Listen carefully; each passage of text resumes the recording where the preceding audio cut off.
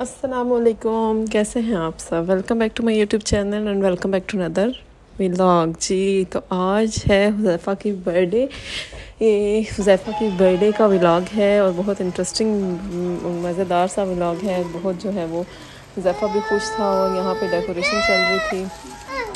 दिन का आगाज़ कुछ इस तरह से हुआ, जी हम लोग उठे तो उठते ही जो है बस वो मैंने खाना बनाना शुरू कर दिया। हुजैफ़ा को नाश्ता करवाने के बाद फिर साथ साथ मैंने भी नाश्ता कर लिया और मेरे हस्बैंड जो है वो केक वगैरह लेने चले गए और जो बाकी चीज़ें छोटी मोटी खाने पीने की थी या कुछ ख़त्म हुई हुई थी चीज़ें घर की तो वो लेने चले गए। उसके बाद जी फिर वो वापस आए तो फिर हमने डेकोरेशन की। सबसे पहले साथ साथ हमने पहले ये सोचा था, हुजैफ़ा को सुला देंगे तो फिर डेकोरेशन शुरू करेंगे।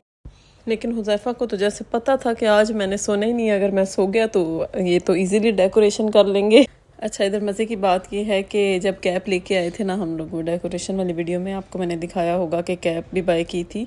तो तब हुजैफ़ा को, पता वीडियो में हम लोग पहना रहे थे ज़बरदस्ती, और हुजैफ़ा बिल्कुल भी नहीं पहन रहा था। और अभी हुजैफ़ा को पता जब जैसे ही चला, बच्चों को शायद पता चल जाता है कि आज हमारी बर्थडे है या कोई खास डे है, सब तैयारियाँ कर रहे हैं तो जो है ना वो पूरा हुजैफ़ा ने साथ जो है रिस्पांस भी दिया और हेल्प भी ये मैंने भल्ले बनाने थे तो उसका सामान रेडी करके रखा हुआ था और यहाँ पे ये बिरयानी बन चुकी थी और साथ ही सालन और बाकी चीज़ें जो हैं वो जायद लेके आ चुके थे, वो भी मैं आप लोगों से भी शेयर करूँगी और ये कुछ लवाजमात भी मैंने कटिंग करके रख दिए थे और बाकी चलते हैं टेबल की तरफ़। अभी मैं यहाँ पर टेबल सेट कर रही थी साथ साथ तो बस प्लेट्स रख दी थी और ग्लास वगैरह।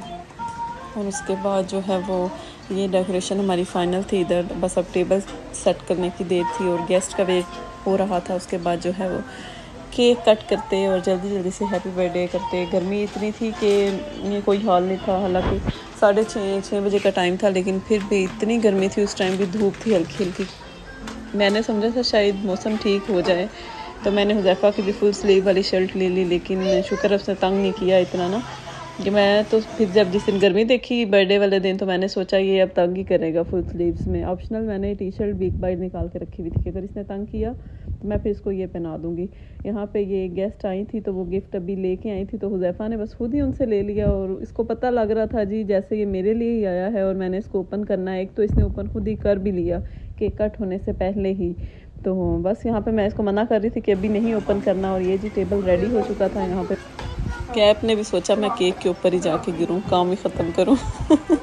तो बस जी, यहाँ पे तैयारी चल रही थी तो बस केक कटिंग होने वाला था। जैफा काफ़ी एक्साइटेड लग रहा था, खुश था। उसकी जंपिंग ही नहीं ख़त्म हो रही थी। तो बस उसके बाद जो है वो, ये सारा सेटअप था इस तरह से।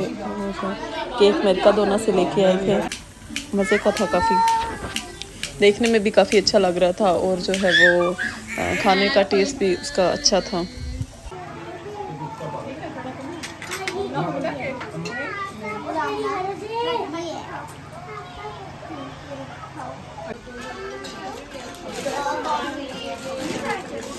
Wow.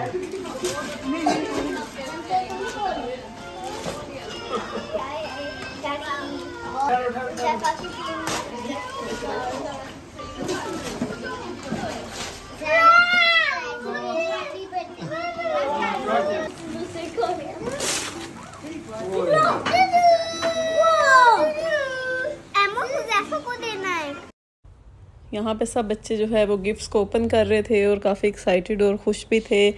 जी तो यहाँ पे करते हैं व्लॉग का एंड इंशाल्लाह नेक्स्ट वीडियो में आप सबसे मुलाकात होगी। तब तक के लिए आप वीडियोस को लाइक करें चैनल को सब्सक्राइब करें। अल्लाह हाफिज़।